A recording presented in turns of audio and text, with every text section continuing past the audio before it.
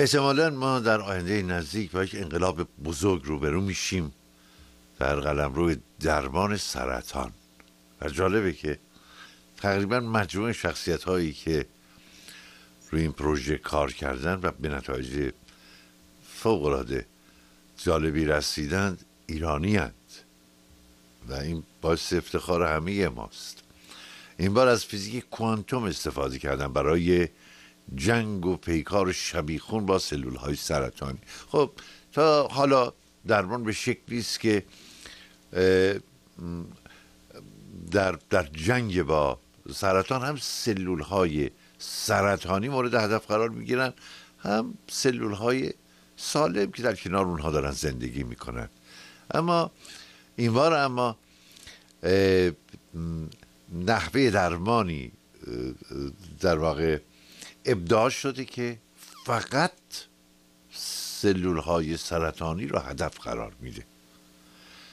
اجازه در این زمینه با دکتر حساب نوزری صحبت کنیم چون به زودی در لس آنجلس یک همایش خواهد بود. در معرفی این روش آقای دکتر حاتمیان آقای دکتر حساب نوزری هم حضور دارن یعنی برگزار کننده آقای دکتر نیری و آقای دکتر قمبری اینا از ایالت های مختلف میان و قراره که این شیوه از درمان سرطان رو به هموطنان ارجمند معرفی کنن و این به احتمال زیاد انقلاب ایجاد خواهد کرد در شیوه درمان بیماری که انسان از جنگ کامل بهش احساس نومیدی می‌کرد.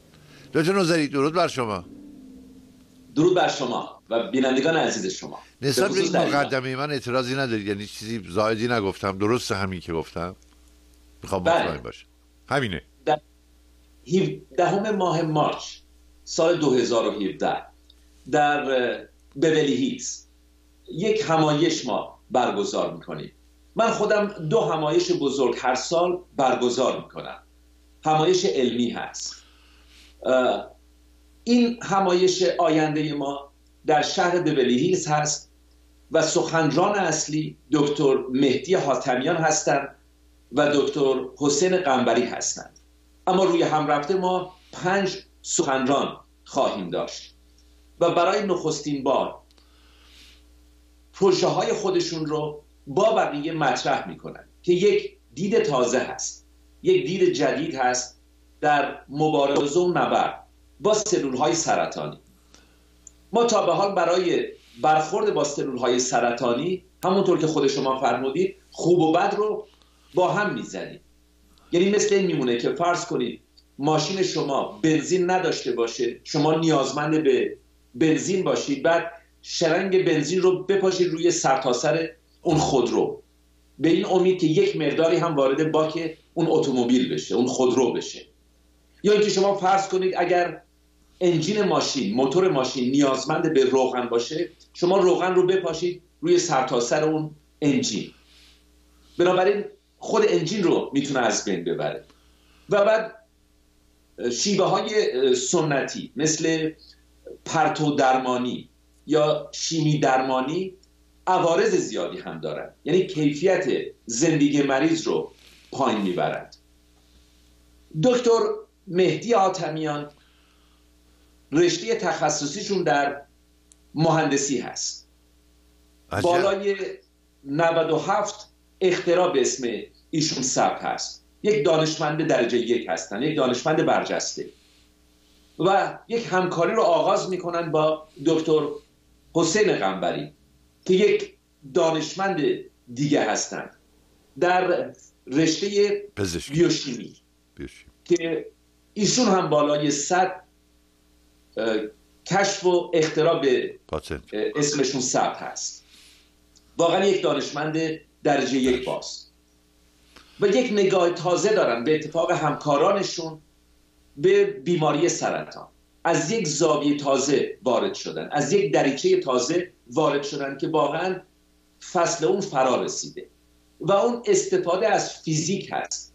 استفاده از فیزیک مدرن هست. از فیزیک کوانتوم هست.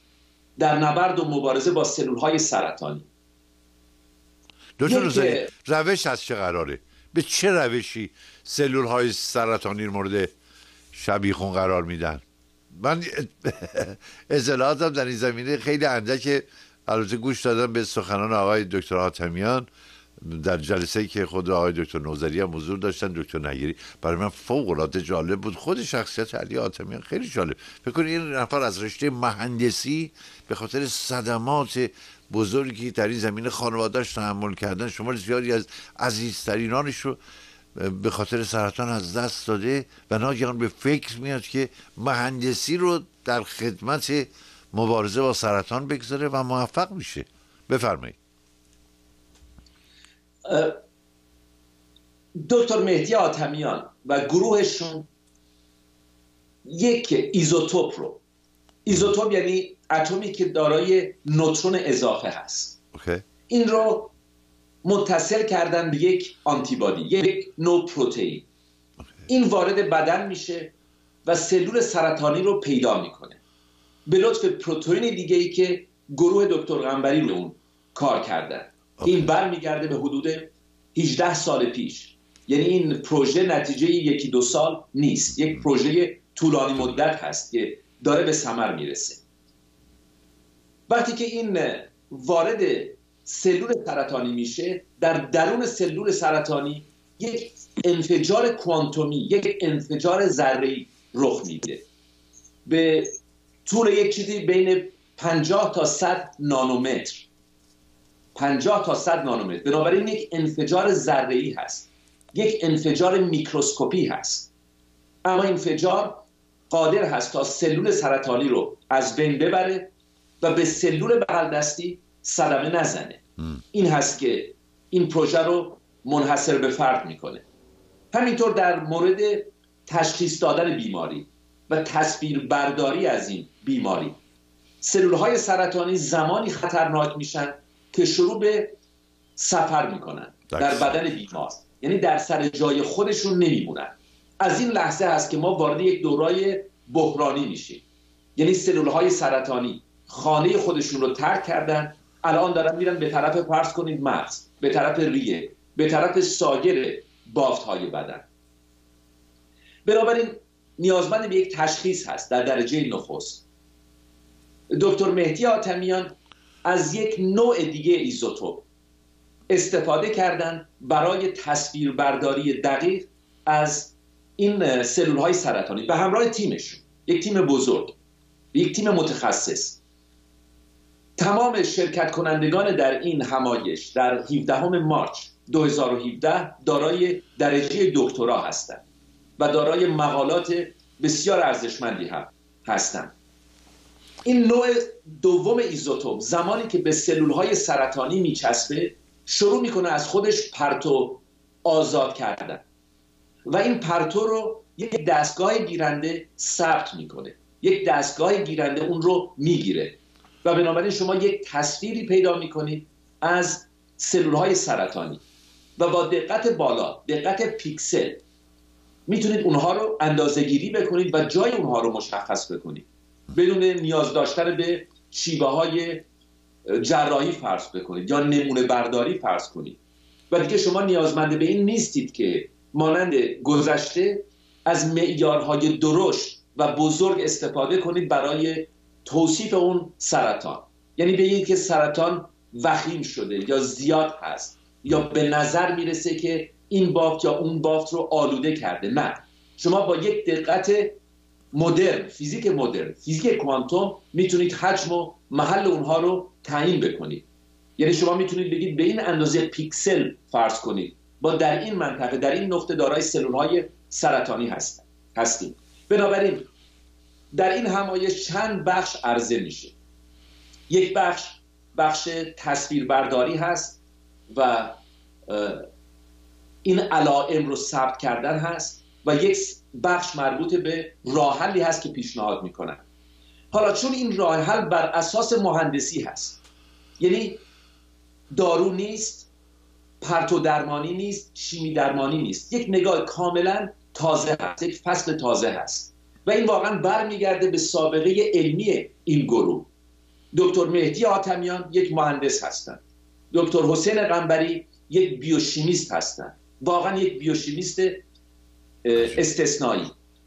دکتر مایکل لوبوویچ سخنران دیگه ما متخصص زیستشناسی مولکولی هستند.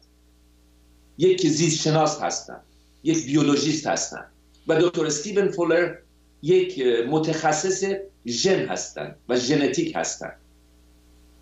حالا برای که مسئله برای تمام شرکت کننده ها راحت باشه ما از یک دانشمند برجسته دیگه دعوت کردیم که همایش ما رو آغاز بکنن و اون دکتر علی نیری هست. یک فیزیکدان برجسته که شما با ایشون آشنایی دارید و بینندگان شما. من از دکتر علی نیری خواهش کردم تا با زبان ساده فیزیک کوانتوم رو تشریح بکنم. بنابراین حضور در این همایش الزام نمی‌کنه که شرکت کننده ها متخصص باشن.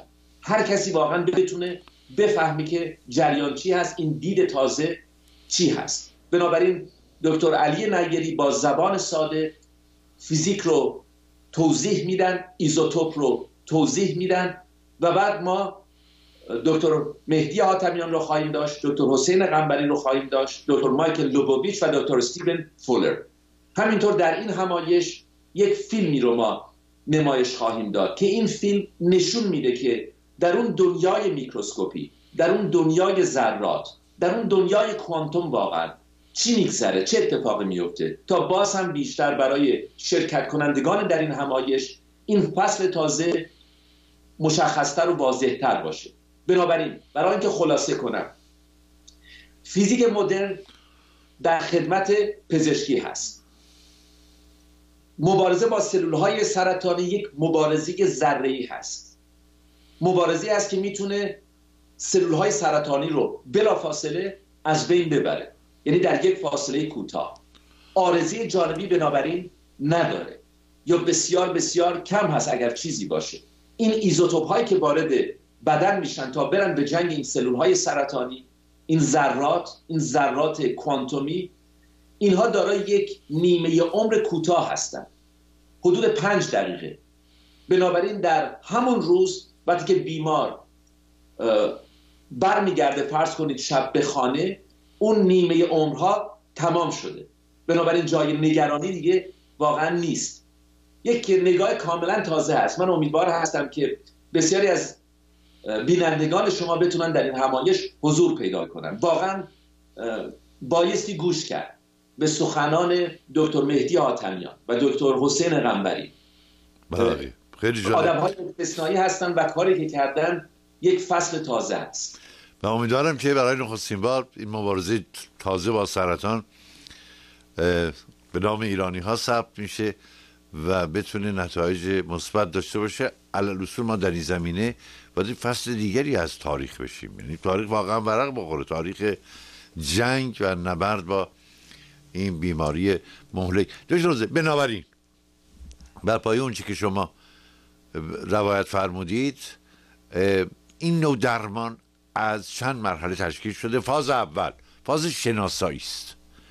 فاز رفتن به سراغ سلول های سرطانی شناسایی کردن اونهاست. فاز دوم حمله ایزوتوپیست شبیخون به سلول های سرطانی و منفجر کردن هر سرطان هر سلول سرطانی از درون بدونی که به همسایه سالمش زیان و ضرری وارد بشه. درسته تا اینجا؟ دقیقا همینطور است که شما فرمودید. جالب خیلی. یعنی عملیات کماندوییه. ای کاش خود شرکت کننده ها اینجا بودن تا از زبان خود اونها میشنیدی. اما اون چیزی که این شرکت کنندگان رو منحصر به فرد می‌کنه واقعا دانش اونها هست. و چون دانش دارن و می‌دونن دارن چه کار می‌کنن این توانایی رو پیدا کردن تا با زبان ساده اون رو با شرکت کننده ها بتونن در میون بگذارن. بنابراین جای نگرانی نیست. زمانی که شما به صحبت های اینها گوش می‌کنید به سادگی این مسائل پیچیده رو می‌تونید متوجه بشید. و بعد واقعا باز هم متوجه میشید چرا زمان اون فرا رسیده بود که مهندسین وارد این نبرد بشن. چرا زمان اون فرا رسیده بود که متخصصین فیزیک متخصصین شیمی متخصصین ژنتیک متخصصین سیستم دفاعی بدن وارد این کارزار بشن؟ دکتر نظری به عنوان یک دانشورز بفرمایید. می‌دونم که با مجموعه شخصیت هایی که در این پروژه بزرگ و یگانه همکاری داشتن گفتگو کردید صحبت کردید اطلاعات لازم رو گرفتید. خود من وقتی با دکتر آتومیان صحبت می‌کردم و از اون خواستم به ما بگه چند درصد تا به حال در این زمینه پیش رفتن چند درصد موفقیت داشته و نتایج مجموعه آزمایشات چی بوده؟ خب به عنوان یه دانشمند خیلی محافظه کارانه سخن گفتن. خود شما چی استنباطتونه؟ واقعا اینا تا کجا پیش رفتن؟ وقتی این شیوه روی یک بیمار عمل میشه تا چند می‌تونه موفقیت آمیز باشه؟ 20 درصد 40 درصد 80 درصد 90 درصد. البته در زمینه علم 100 درصد وجود نداره. می‌خوام نظر خود شما رو جویا بشه. ببینید چون هنوز 17 مارچ نرسیده اجازه بدید که من هم به این سنت علمی احترام بگذارم. یعنی در کارهای علمی بهتر این هست که پاسخ به این پرسش رو ندیم. چون باعثی صبر بکنیم تا تمام اون جواب ها بیرون بیاد در زمان لازم خودش. و به همین علم هست که ما سال 2017 مارچ 17 مارچ 2017 رو انتخاب کردیم. و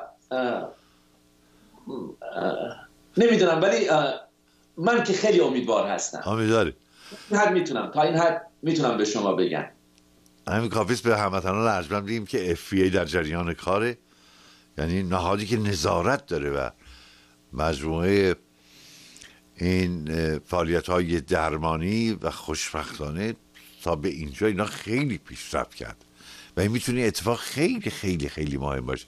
اما اون چی که جالبه این که هر کدام از این شخصیت ها در گوشه ای از دنیا در گوشه از آمریکا زندگی می‌کنن. نیست دکتر نظری؟ خب از اهمیتی که نداره ولی نه در این حال همه با هم در تماس هستن. در تماس. اما یک تیم هستن که همدیگه رو پیدا کردن. به خاطر اینکه شما نیازمند به یک تیم هستید. دنیای امروز مثل دنیای گذشته نیست. شما دیگه هیچ پروژه‌ای رو در یک بخشی در یک دانشگاهی در یک مرکزی نمی‌تونید انجام بدید. به جایی نمی‌رسه. پروژه های امروز نیازمند دانشمندان متفاوت در رشته های متفاوت هستند این هست که بخش های پژوهشی موفق رو منحصر به فرد می‌کنه. یعنی اونهایی که این مسئله رو فهمیدن. و ما در این حال دانشمندانی داریم که این مسئله رو متوجه نشدن. هنوز در خانه خودشون در آزمایشگاه خودشون سعی می‌کنن به جایی برسن. نه. دنیای امروز کاملا دگرگون شده. و شما با یکی دوتا که اون هم در همون رشته باشن به جایی نمی‌رسید. و باز تکرار می‌کنم. اگر شما به این تیم دکتر مهدی حاتمیان توجه بکنید ببینید که همه یک پایه قوی در علم فیزیک دارن یک پایه قوی در علم شیمی دارن در علم ژنتیک دارن. اما هر کدوم از اونها در یکی از این شاخه تا درجه دکترا و مقالات زیاد چاپ کردن پیش رفتن. بنابراین این لازمه یک تیم خوب هست و شما این تیم خوب رو امیدوار هستم که در این همایش ببینید. و تایید بکنید که واقعا همینطور هست. خیلی جالبه. یعنی این یک همایشی نیست که فقط متخصصا بنشینن با هم گفتگو کنن. نه متخصصا میشن در کنار هم برای اینکه به مردم عادی توضیح بدن. به مردم عادی توضیح بدن. از این نظر به نظر این فوقلاده بخصا مطمئنم که شمار زیادی از هموطنان ما در همین لس آنجلس با هیجان و اشتیاق منتظر اعلام نتایج کار هستن. یک فیلم هم تهیه کرده این گروه همیانان یک ویدیو کلیپ از نحوه درمان. امیدوارم برای نخستین بار بتونیم از تلویزیون ایران فردا پخش بکنیم. چون قبلا می‌خواستم پخش بکنم اجازه چنین کاری داده نشده. یعنی هنوز توافق لازم صورت نگرفته. و اینا منتظرن که برسن به یک به یک مرحله به یک مرحله مؤثر از کار که بعد بتونن با صدای بلند نتایج فعالیت های خودشون رو منتشر بکنن. میشه امیدوار بود که این فیلم رو ما برای نخستی بار اینجا پخش کنیم آقای دکتر نظری؟ با کمال می فیلم بسیار زیبایی هست. حرفه‌ای ساخته شده و مسائل رو کاملا روشن می‌کنه. برای اونهایی که مشکلی داشته باشن با درک اینجور علوم. با کمال میل. خب جامعه آمریکایی هم می‌دونن با هیجان منتظره. از اونا چی داریم؟ واکنش چی بوده تا بها خیلی خوب بوده. من این همایشی که ما اینجا برگزار می‌کنیم من چند همایش در سال برگزار می‌کنم. بله. این همایش مخصوص به ببلی هیلز هست. و اون چیزی که این همایش ها رو منحصر به فرد کرده اینه که ما تا به حال سپانسور هیچ وقت قبول نکردیم. بنابراین یک شهرت خودش رو پیدا کرده. از بهترین سخنران ها همیشه دعوت کردیم.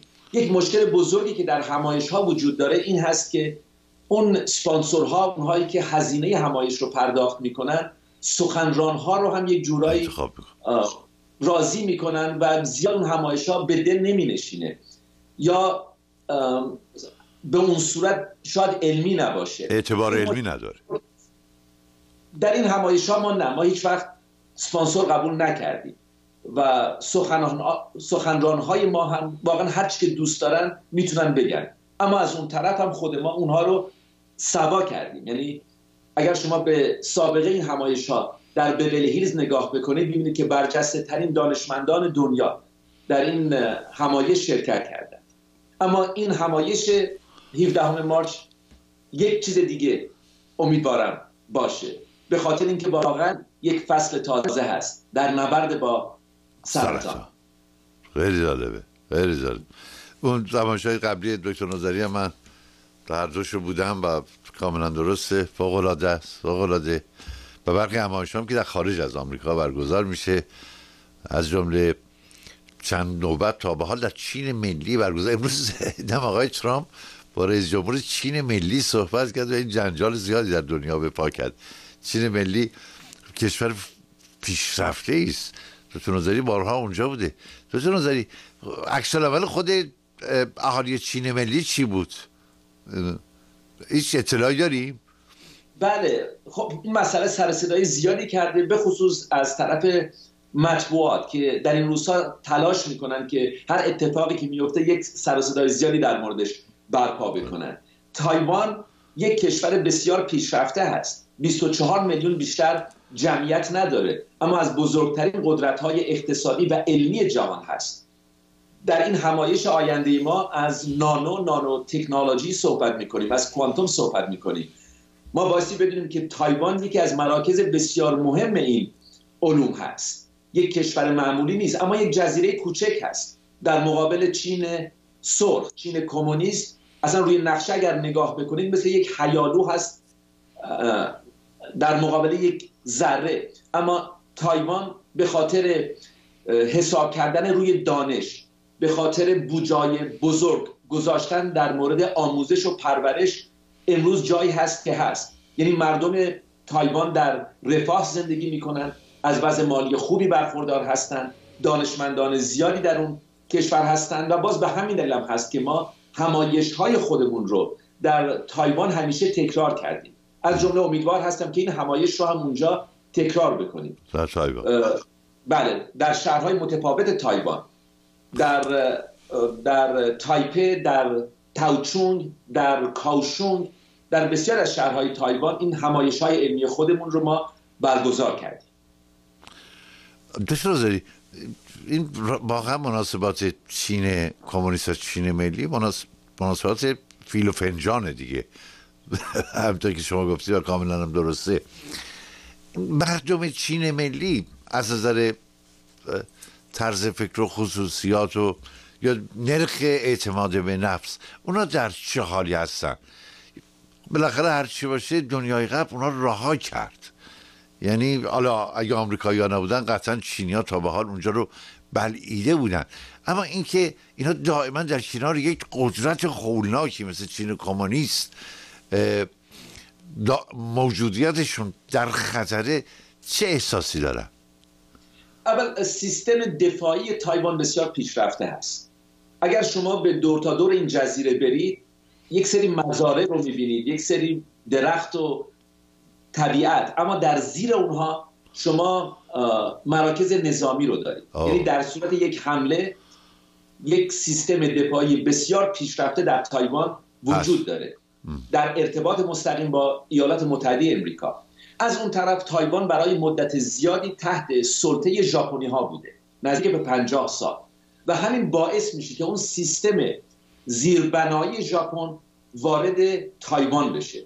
و تا یک مقدار توضیح میده که چرا آموزش و پرورش در ژاپن تا این حد بالا هست. چرا فرهنگ مردم تایوان متفاوت هست با فرهنگ مردم چین. بهتره قوی تره قوی تره خیلی قوی تر است قابل مقایسه نیست. شما وقتی که با یک تایوانی صحبت می‌کنید کاملا متوجه میشید با یک نفر صحبت می‌کنید که متعلق به دنیای جدید هست متعلق به دنیای مدرن هست. شما نظیر اون رو در ژاپن می‌بینید. مهمان نواز دکتر نظری؟ مهمان نواز خیلی. خیلی. مهمان نواز هستن. به تاریخ خودشون خیلی علاقه مند هستن. به استقلال خودشون خیلی علاقه مند هستن. نگران چین هم هستن. بالاخره هر چی که باشه اونها چینی هستن. و جدا شدن تایوان برمیگرده به زمان جان چایشک زمانی که ماوستون اون انقلاب خودش رو می‌کنه جان چایشک هیچ وقت نمیگه که من دیگه رئیس جمهور نیستم. کماکان رئیس جمهور باقی میمونه بله. و با نظامیان خودش به طرف این جزیره حرکت می‌کنه. بنابراین از نظر قانونی هنوز رئیس جمهور چین هست. رئیس جمهور تمام چین هست. و در این مبارزه که بین اون و ماوستون صورت می‌گیره ماوستون یک آدم در مورد مسائل نظامی ابله هست و کم سواد هست. در مقابل جان چایشک که استراتژیست هست. و در این تنشی که بین اونها صورت می‌گیره هیچ وقت به یک جای دائم بالاخره نمی‌رسه و بعد شما اون انقلاب فرهنگی رو دارید در چین و جنایتی که کمونیست ها انجام میدن. بنابراین شما اگر به تاریخ هم نگاه بکنید می‌بینید که تاریخ در تیم تایوان هست. یعنی شما یک جزیره کوچک رو دارید. یعنی اونا در سمت درست متاسفانه وقتمون تمام شد. بنابراین تایوان در سمت درست تاریخ ایستاده. یادم باشه گفتگو رو پی بگیر. دکتر خیلی تشکر می‌کنم از شما. خیلی لطفی از شما. ممنون.